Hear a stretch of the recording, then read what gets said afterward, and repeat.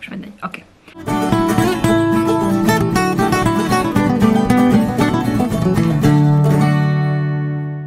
Sziasztok, Matilda vagyok, és a mai videó a szeptemberi összegzésem lesz, így október közepén ezt felveszem, október végére nagy nehezen ki is fogom rakni. Szeptemberben nem olvastam túl sokat, úgyhogy ez egy viszonylag rövid értékelés lesz, igazából olvastam egy képregényt, egy ilyen gyerekkönyvet, meg egy hosszabb könyvet, um, úgyhogy csapjunk is bele, hogy miket olvastam ki a hónapban. Az első az Darren Sontól az Archibald Lox és az elveszett, vagy az Archibald Lox az elveszett hercegnő. Ennek a története az az, hogy Archie egy napon lát egy lányt így eltűnni a hídon, és követi, és akkor átkerül a sodrásba, ami egy ilyen nem tudom, párhuzamos univerzum, ahol igazából azok vannak, akik már meghaltak, de még ott egy élnek, ilyen, ilyen smia koncepció, és akkor Ineshez hozzácsapódik, és keresik az elveszett hercegnőt igazából. Ez így. Röviden összefoglalva a történet. Darren Sontól régóta mm. szerettem volna egyébként olvasni, mert hogy ugye a Rémségek cirkuszát írta, és ez ugye egy elég népszerű könyve, és akkor kíváncsi voltam rá. Ez egyébként recenziós példány volt a Bukaholi kiadótól, amit ezúton is nagyon szépen köszönök nekik. És hát, mint látható, ez nem egy rövid kötet, úgyhogy ez a hónapom nagy részét kitette. Oké, okay, a másik, ezek nincsenek meg fizikaiban, úgyhogy bevágom majd a képüket. Az egyik könyv, amit kiolvastam, az a Mamó volt, ami egy képregény, amit szintén régóta nézegettem, és még tuti biztos vagyok benne, hogy Eszti hívta fel egyszerre a figyelmemet mert egy képregény ki más hívta volna föl rá a figyelmemet. A Mamóban az a sztori, ez egy ilyen boszorkányos történet, úgyhogy ez így októberre is még nagyon jó olvasmány lehet, spooky seasonre. Um, egy uh, lány megkeresi a, a helyi boszorkányt, a képen a városába keveredett, ugyanis a városban nagyon furcsa dolgok történtek, úgy néz ki, hogy ez a varázs egyensúly, meg a varázs lények valahogy kibillentek, és akkor um, mindenféle furcsa dolgok történnek, és akkor megkéri um, ezt a boszorkányt, nem, nem, nem emlékszem a nevekre, elnézést, uh, hogy segítsen neki megoldani a rejtét, hogy mi is történik a városban.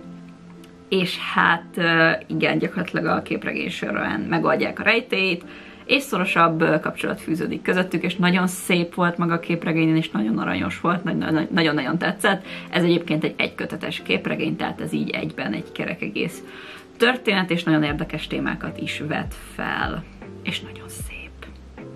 A képregényeknél, ha már esztétikailag szépek, akkor nagyon megnyertek maguknak, úgyhogy nincsenek nagy igényeim. A harmadik könyv, amit kiolvastam szeptemberben, az nem más volt, mint az Apró terek Catherine Ardentől, ezt hangos könyvben hallgattam, angolul. Sajnos én úgy tudom, hogy magyarul nem lesz folytatva a sorozat, ez egy négy részes sorozat eddig, és um, magyarul a könyvmajképzőnél megjelent az első része, de nem fogják folytatni. Ez tavaly volt a Kripatonnak egyébként a közös könyve, és én még nem vettem részt Kripatonon, meg tavaly se vettem részt a Kripatonon, csak mindenki nagyon-nagyon szerette az apró tereket, és nagyon jókat mondtak róla, és azt mondták, hogy ez ilyen cozy horror, tehát hogy megvannak az ijesztő vibe de hogy nem ez a belezős horror kategória, tehát hogy, hogy cozy horror, na, és akkor én azért is voltam erre kíváncsi, meg ugye Catherine Arden írta a Medve és a Csalogány című ö, könyvet és azt a sorozatot, amit szintén nagyon szerettem, úgyhogy ö,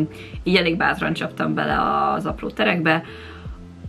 A hangulata az nagyon durván ott volt, tehát megvolt ez a ez a kissé hátborzongatós hangulat maga a, könyv, a hangos könyvnek is már, meg az egésznek. Ugye a sztori az az, hogy Oli a, az osztályával elmegy egy ilyen farmra, ilyen, nem tudom, tanulmányi kirándulás szintjén, és már eleve előtte is történnek furcsaságok, például talál egy könyvet, amiben um, hát egy nagyon érdekes történetre bukkan, és aztán az az érdekes történet visszakezd köszönni a való életben is, ami elég furcsa, de a lényeg, hogy ezen az osztálykiránduláson um, um,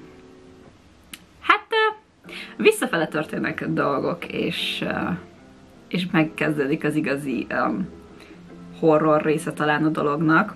Igazából tetszett, meg tök jó volt a, a hangos könyv, ugye ez egy gyerekkönyv, tehát nem 11-2 évesek benne a szereplők, úgyhogy ez volt az apró terek, és mivel hogy ez egy sorozat, ezt majd szeretném egyébként folytatni a további részeivel, főleg amíg még így ősz van, és október, november, októberben nem fogom befejezni, mert még nem olvastam a folytatások közül semmit. Úgyhogy igen, hogyha valaki olyan spooky könyvet akar olvasni, ami azért horror elemeket is azért tartalmaz, mert ezek a maderjesztők eléggé creepy, tehát alapból a maderjesztők creepy, de itt még creepybbek, meg vannak benne azért durvább dolgok, de hogyha nem akar olyan nagyon durva horror, tehát tényleg, ez tényleg egy kózi horror, tehát hogy ez itt tök jó megfogalmazás volt rá, akkor um, nagyon tudom ajánlani az apró tereket. Úgyhogy igazából ez lett volna minden, amit én olvastam szeptemberben, ez egy ilyen um, nehézkesebb hónap volt,